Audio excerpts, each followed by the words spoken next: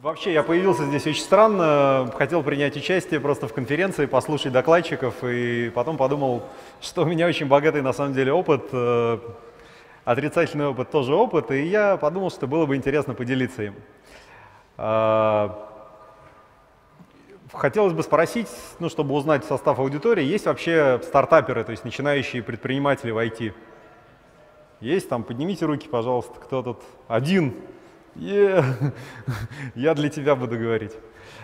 А, вообще, ну, это будет очень странный доклад. Сразу приготовьтесь, это будет очень странно даже для IT-конференции. И, ну, я постараюсь, чтобы это было и весело еще. Я вообще пришел вообще из другой сферы, я не из IT-сферы, я из сферы вообще риэлторского бизнеса.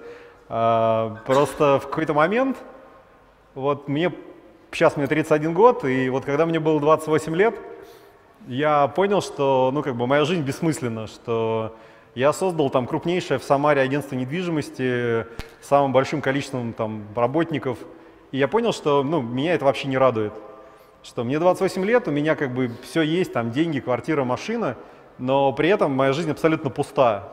И мне как бы с детства внушали, что вот ты как бы работай, заработаешь все и будешь счастливым. И я как бы работал, пахал там, вообще тратил здоровье, и в какой-то момент я понял, что ну как бы все есть, а при этом ну ничего нет, чтобы я ценил. То есть нет никакой ценности в жизни. И как-то раз я сидел на острове в Таиланде, на Пангане, и сидел и думал, ну как бы, и что делать-то? Дальше так жить вообще не хочется. И хочется, ну вообще что-то сделать на самом деле. То есть когда-то я умру, а сейчас я живой. И вот пока я живой, хочется как бы что-то сделать действительно полезное для людей. И, ну, как бы мне эта мысль запала в голову, ну и, в общем-то, вот как-то, это, это, знаете, квинтэссенция всего доклада, ну и вообще квинтэссенция последних трех лет моей жизни. А, ну и как-то я думал, что ну, я сделал там успешный бизнес в риэлторской сфере, думаю, там столько упырей всяких разных, я их всех победил. Думаю, ну что, я неужели в IT не сделаю там стартап, что ерунда какая. И как-то вот у меня было примерно такое же выражение лица, я загорелся, зажегся идеей, придумал идею офигенную, и, ну, как бы, и начал, начал, в общем-то, над ней работать. А первым делом рассказал всем друзьям, они сказали, да, круто, вообще, Слава, давай, вообще, жги, прям будет огонь. А, идея заключалась в том, что я хотел создать сервис, который бы позволял людям больше общаться вживую. То есть такая антисоциальная сеть. Что как бы социальные сети, они разделяют людей, а я хотел сделать сервис, который людей, людей бы объединял. И как бы начал работать над ним. И, в общем-то, первое... Э, так, обрезалось, да? Ну ладно. Первым делом я пошел, в общем-то, к друзьям. Сказал, ребята, вот как бы среди вас есть там наверняка специалисты, мне нужно сделать сервис. Они говорят, да, давай, давай к нам, пойдем.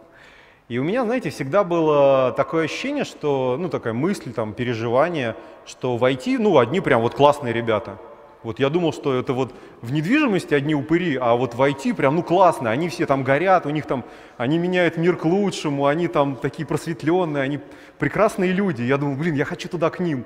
Я там насмотрелся там всяких фильмов, там книжек, думал, блин, там так круто. Это здесь там вот всякая там грязь, деньги, там всякая ерунда, там какие-то такие вот там, да это вот это вот штуки, а в IT это вообще все шикарно. И я думаю, все, я туда, вот мне туда, мне с гусями летать.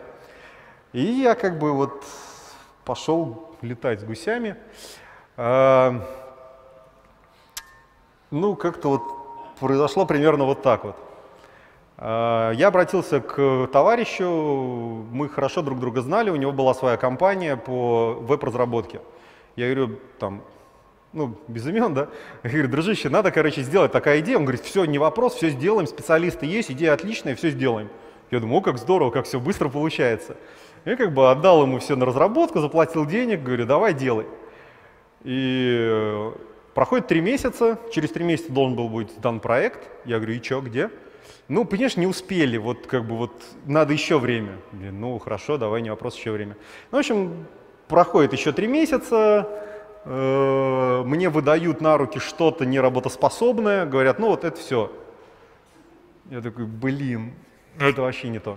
Так, понимаешь, что ладно, нет, пофигу, ну как бы там цена вопроса была там в районе 300 тысяч, ну, думаю, хрен с ним, не буду там судиться и все остальное. Думаю, наверное, чувак не справился, наверное, как бы нужно просто большую компанию найти с мощными спецами. И как-то, значит, э, я нашел большую компанию, мне говорят, в Харькове отличные ребята, там целый город, все программисты, короче, куча компаний, значит, там все крутые спецы, надо туда. Я не вопрос, поехал в Харьков, значит, нашел самых, значит, звероподобных монстров с самой, значит, большой конторой, значит, 200 программистов сидят, все, там, все шикарно, все расписали, все делаем. Ну, в общем, в итоге мне это обошлось примерно там в минус 2 миллиона еще и примерно еще 8 месяцев работы. В итоге мне на руки выдают тоже что-то не, не. Я такой, блин, да ну вы че, да ладно, ну ну, как я, не вопрос заплатить, но ведь ничего же не дали за это. Я вообще расстроился, у меня вот прям снова было вот такое. Вот. Потом я нашел еще одну контору. Ну, в общем, там история повторилась, не буду вас утомлять пересказом. В общем, в итоге меня кинуло подряд три конторы. Я думаю, нет, что-то не то. Энтузиазма не теряю. Причем, знаете, мне все время вспоминалась поговорка этого Уинстона Черчилля, что успех — это движение Э, от неудачи к неудаче с нарастающим энтузиазмом. Но он, он как бы забыл сказать, что и от неудачи к неудаче можно не только к успеху прийти, но и к неудаче. Так-то вот по сути. Я такой думаю, ну блин, ну чё, ну... А я, знаете, я вот, вот, э, вот, вот я такой. Я невероятно, значит, смелый, сильный, решительный, но, сука, глупый пипец. Вот честно, я вот честно признаюсь, что я очень глупый. Я как бы очень решительный, и зачастую у меня как бы успех достигается за счет моей решительности, но мозгов вообще нету. Э, поэтому я, значит, э, думаю, надо, значит, свою команду собрать. Только надо свою, собрать команду. Собрал, значит, э, удаленщиков. Собрал удаленщиков, начали работать. Ну вот как бы следующий слайд. Я думаю, вы понимаете, что произошло дальше. Тоже несколько месяцев разработки, энное количество как бы сотрудников. В итоге я понимаю, что надо, значит, народ собирать. Я, значит, нахожу кофаундера технического, программиста, он говорит, все, славян, я с тобой, мы, значит, вместе порвем мир. Я говорю, да, порвем мир, все, огонь, короче. Набираем программистов там из Сибири, из Украины, из Казахстана, там отовсюду набираем, там с Москвы. Понимаем, что, ну, удаленно нельзя работать, надо работать вместе. Я говорю, а поехали в Таиланд? Они такие, да, поехали в Таиланд. Мы, значит, собираем всю команду, летим в Таиланд, снимаем там дом, начинаем фигачить, значит, работаем там день и ночь, все круто, все огонь, все как в кино. Э, три месяца работаем, команда выгорает. Результата нет, команда выгорает, мы выкатываем бету, бета, значит, проваливается, юзеры говорят, что да, типа идея классная, но реализация фигня. Все, команда разваливается, разъезжаемся из Таиланда. Я снова, значит, вот Вот так вот. Я такой, да что ж такое-то, блин, что ж не получается. Думаю, надо еще раз попробовать. Значит, думаю, ну, наверное, команда была слабовата, вот наверняка, вот если брать вообще самых матерых, они работают все на удаленке, вот тогда, значит, таких фрилансеров, они наверняка мощные. Ну, как вы понимаете, здесь, в общем-то, тоже ситуация не задалась.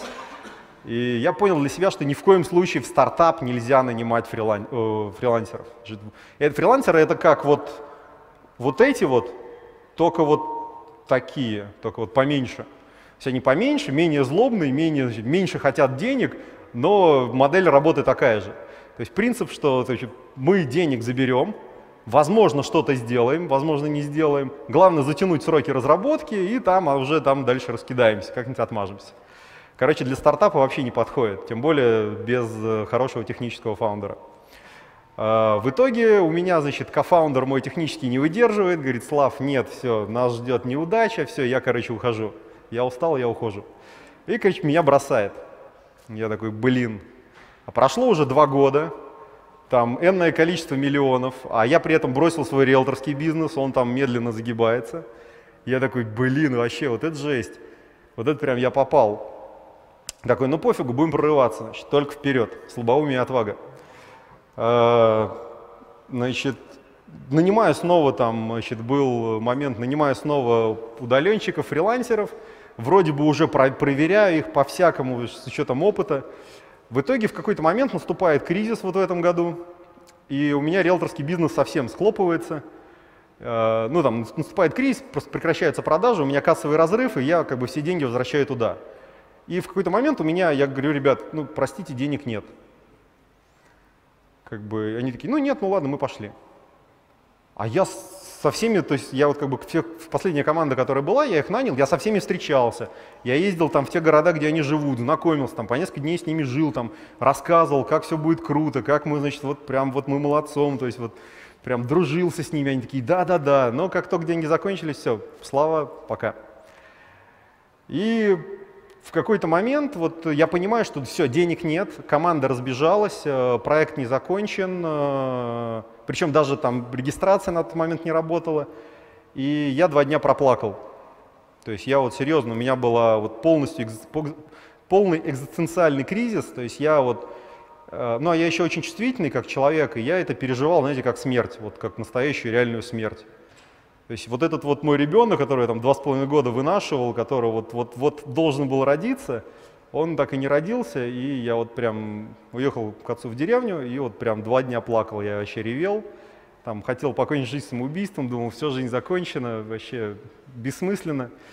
Два дня проплакал, все как бы вот, ну, прожил это, и вернулся домой, думаю, ну, ну что, ну все, закончилось. То есть, а это прям, знаете, это была вот по накалу это была невероятная история. То есть я прям вот, я вообще туда прям вот все вкладывал, все, все ресурсы, все, что было. Там квартиру продал, там вообще там все деньги там от бизнеса, все туда, давай, давай. И расти, расти, малыш. И малыш не растет. Э, ну и я такой, все уже как бы закончилось. И тут вспоминаю, что мне очень один товарищ нравился, как бы как человек, как специалист. И я, знаете, вообще ни на что не надеясь, пишу, говорю, ну, ты знаешь, говорю, я как бы, ну, просто должен спросить, я как бы ни на что не надеюсь, ничего, ни на что не рассчитываю, но ты не хотел бы вот э, закончить проект бесплатно и потом вот как бы долю получить там в нем как бы небольшую? Просто вот наугад такой, уже все, ну, денег нету, платить не могу, говорю, вот, э, вот, но есть идея, вот, давай, типа, сделаем. Он говорит, слушай, ну, идея крутая, давай, я, типа, возьму еще одного чувака, и мы вместе, типа, поднимем проект. Я такой, вау, такой, прикольно. Так, так, что, смерть откладывается?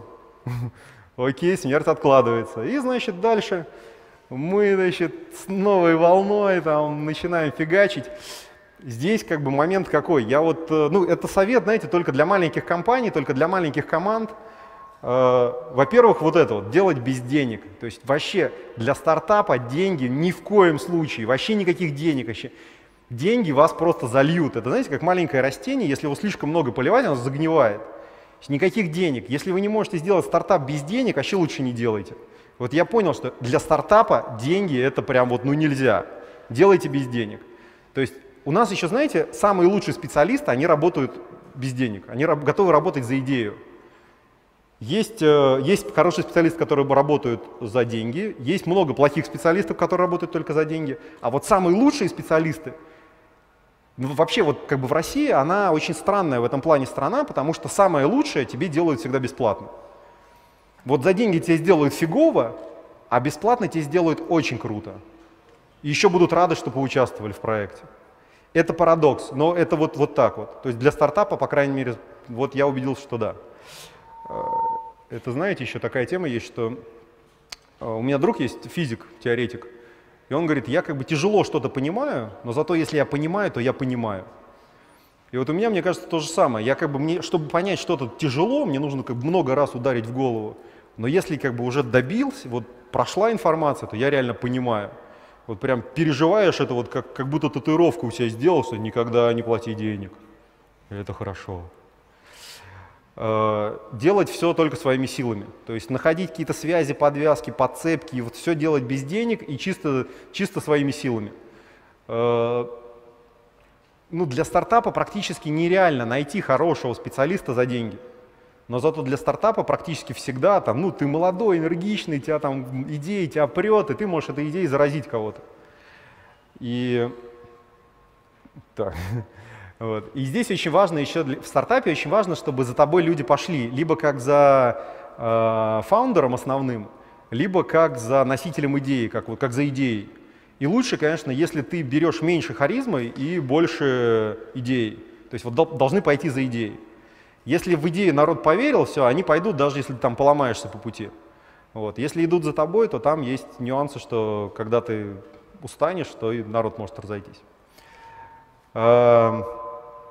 Дальше. Вот, вот это прям, знаете, э, некоторые, некоторые вещи, некоторые идеи, некоторые картинки надо сделать себе реально татуировку вот на видных частях тела. Вот э, на самом деле есть ограниченное количество очень простых идей.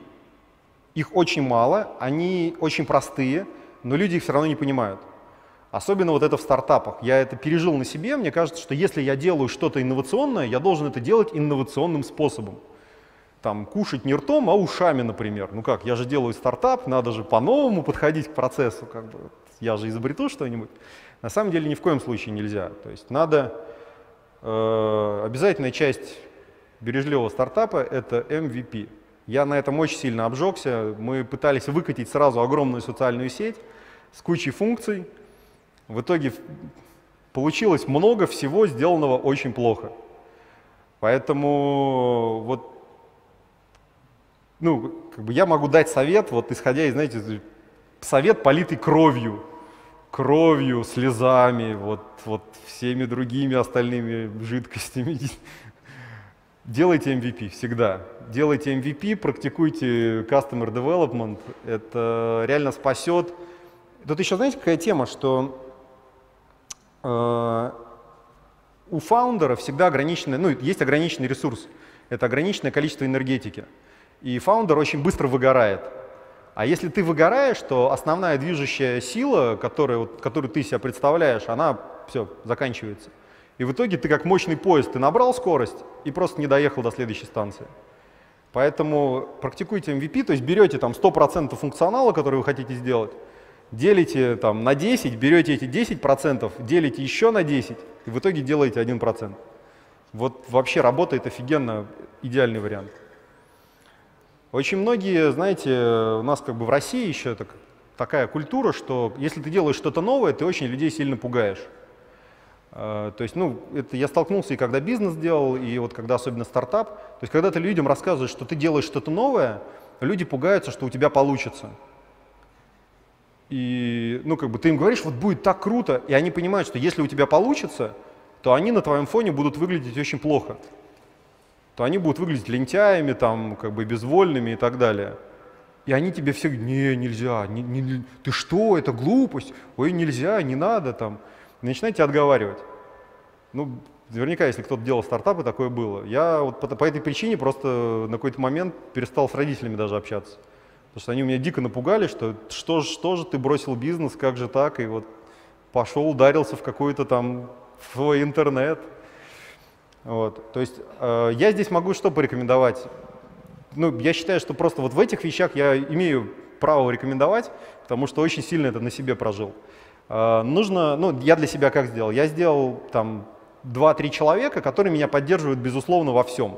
То есть даже если я буду делать полный бред, они скажут, да, Слав, ты молодец, у тебя все получится, иди вперед. И я их как бы сделал как такой бэкэнд, то есть я к ним всегда возвращаюсь, когда мне плохо. А так я просто иду к людям, говорю, я вот делаю такое-то, вообще нужно вам это? Они говорят, да, нормально, или нет, ненормально. Там будете за это платить? Они такие, нет, не будем, а вот за это, а вот за это будем. И как бы, ну, уже, когда у тебя есть люди, которые тебя поддерживают, э, гораздо легче идти э, там, в поля и спрашивать, а правильно ли я вещи делаю нужно ли то, что я делаю. Вот. Ну и гораздо легче воспринимается обратная связь. Э, ну, не надо спорить. Это один из принципов Customer Development. Ну, я сначала прочувствовал Customer Development на своей шкуре, и только потом прочитал книжку про Customer Development. Лучше, конечно, было наоборот. Э, просто на, самом деле вот тут э, до этого докладчики рассказывали, что там нужно там, ну там есть Product development есть э, customer development. Product development, когда ты сначала делаешь продукт и потом идешь его продаешь. А customer development, когда ты сначала говоришь, а, ну надо, я вот такую штуку сделаю. И тебе говорят, ну да, неплохо. Ты говоришь, вот на. И говорят, да, спасибо, вот супер. То есть, когда ты сначала ну, как бы узнаешь, нужно ли то что, ты, то, что ты делаешь, и потом только уже начинаешь делать.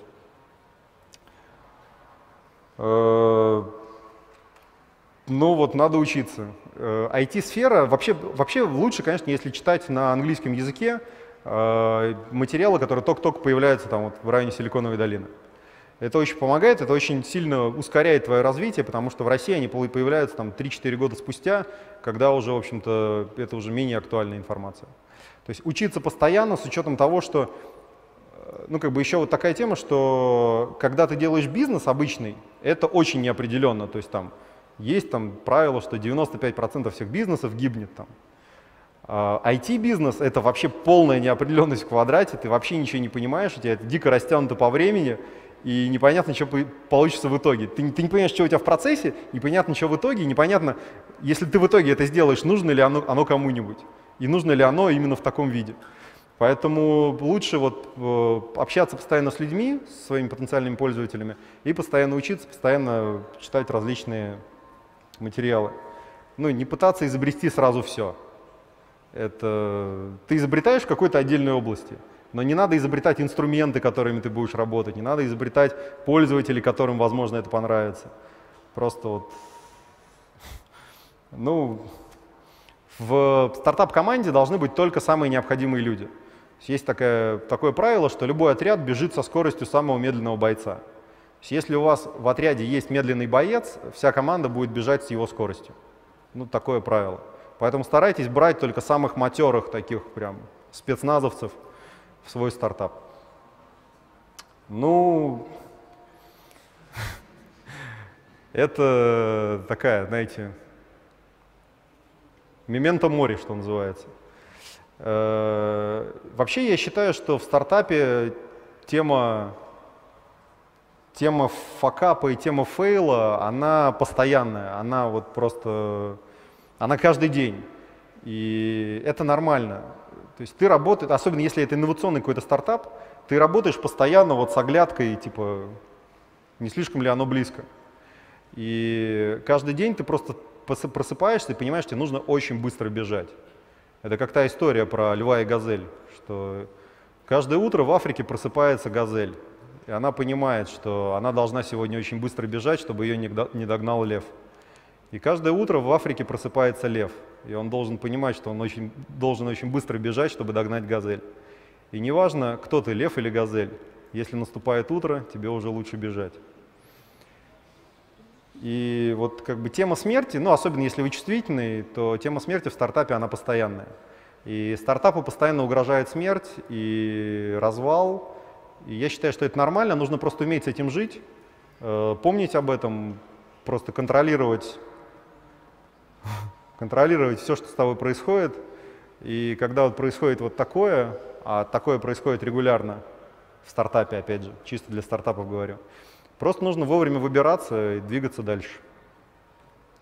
И понимать, что там, где ты ходишь, если уж ты, тебя угораздило открыть стартап, то надо понимать, что там наверху, куда ты забрался, очень мало кислорода. И чтобы поддерживать жизнь, там нужно двигаться аккуратно, дышать часто, не совершать ошибок и очень-очень быть осторожным. Ну, в общем-то, помните о смерти, но живите насыщенной жизнью.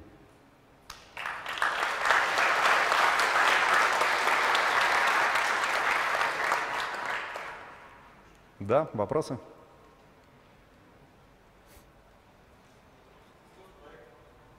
Что? А, я же не рассказал самое интересное. С проектом все круто. Я сейчас в акселераторе, у нас там скоро, э, там, ну, короче, с инвесторами общаемся. Короче, все круто. По customer development все, все говорят, что вообще огонь. То есть 80% людей говорят, что пипец, как ждем твоего продукта, давай скорее. Ну и предварительные там наработки, которые показывают, там, э, бету, все говорят, вообще супер, очень-очень ждем.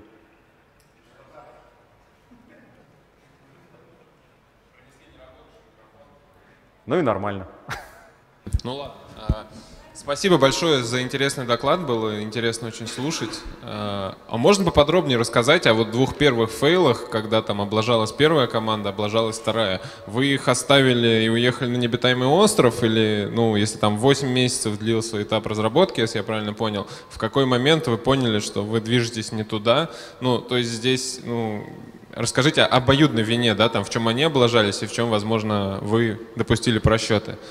Спасибо. Да, спасибо. На самом деле я никого не обвиняю, полная ответственность на мне. Это, но это с самого начала было понятно, что, что вот, вот, вот это, как оно, мне очень нравится. Сделайте полноэкранный, пожалуйста. Вот, да. Вообще очень нравится этот слайд.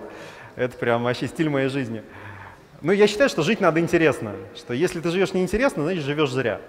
И моя, конечно, моя ответственность была в том, что я нифига не понимал. То есть я, у меня были радужные мечты, я хотел как тот бегемотик э, летать, такой вот, что будет все здорово, но на самом деле, конечно, не здорово. И моя ответственность была в том, что я не понимал, что происходит, что я выбрал не, того, не тех, ну, выбирал все время не тех подрядчиков, а, ну, то есть там банально была такая тема, что проект был написан на Юи, там, yes it is, why а ребята, там, команда, которую я нанял, они зачем-то начали переписывать этот проект э, на Zend, Zend Framework. И, ну, как бы, мне говорят, это надо так. То есть они начали там добавлять какие-то вещи, и в итоге проект просто перевели на Zend. Хотя там он, ну, много было написано, а все это произошло потому, что программист, один из программистов, который у них там работал, говорит, я вот больше люблю Zend я перепишу на Zend. И в итоге там три месяца работы еще заняло, и там, там по 300, по 400 тысяч я просто в месяц там хлостал. Ну, то есть они делали совершенно... Причем они мне продавали специалистов как э, сеньоров, а на самом деле это были джуны. То есть потом уже все это выяснилось. И единственное, в чем была заинтересована компания, в том, чтобы там, 8 человек, 8 программистов работали над веб-частью. Ну, ну, ну, как бы я сейчас понимаю, что меня развели просто как, как кролика, вот прям вот развели. Но должно было это, наверное, произойти, чтобы я чему-то научился. Вот, естественно, таких ошибок я больше не совершу. Вот. То есть я как бы достаточно легко переживаю всякие неудачи и легко переживаю факапы, там, фейлы полные, там, падения. Вот, и просто стараюсь не допускать второй раз, чтобы такое происходило. Вот. То есть основная проблема была в том, что очень низкая квалификация – Здесь надо понимать, что все хорошие разработчики заняты. И если тебе активно кого-то продают, и если кто-то продает тебя сам, то явно это потому, что у него нет работы. А с учетом того, что это высококонкурентный рынок, и у хорошего программиста нет работы, но я сейчас это понимаю, что это очень странно. Что хороший, хороший разработчик, и у него там толпы репортеров там под окнами стоят и хедхантят его. Вот. Ответил на вопрос? Еще есть вопрос?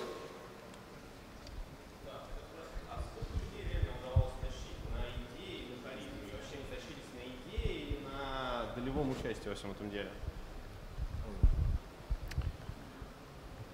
Ты знаешь, э, у меня было как? То есть э, я человек очень увлекающийся. И если у меня возникает идея, вот, которая меня прям подрывает, я, ну, то есть я готов отдать все, я готов отдать деньги, там, одежду снять, на, забери, давай сделаем, давай сделаем, крутая идея. И вот меня настолько перло, что я не жалею, то есть мне человек говорит, там, типа, я стою 120 тысяч в месяц, я говорю, не вопрос, все, окей, давай, сегодня начнешь? То есть я не торговался, ничего, мне вот главное, чтобы, вот, чтобы человек не сделал. А, как бы, когда у человека мотивация деньги, все, у него деньги получил, все, мотивация закрылась. Вот. Поэтому я считаю, что нужно без денег стартап делать. А... Как только деньги закончились, дальше тащил на харизме. Удавал. Ну вот, вот сейчас команда работает на, ну, за долю. Правда, мы еще не распределили, сколько долей. Если, кстати, у кого-то есть э, опыт в распределении долей в стартапе, буду очень благодарен, если поможете, потому что я вообще не представляю, как, как делить правильно. Нет, ты слишком меркантильный, нет, я не люблю тебя. Только бесплатно, только за идею, только за интерес. Еще вопросы? Ну все, спасибо большое. Надеюсь, мой опыт вам чем-то поможет. И помните, что помимо отваги нужны еще и мозги. Вот реально, мозги — это наше все.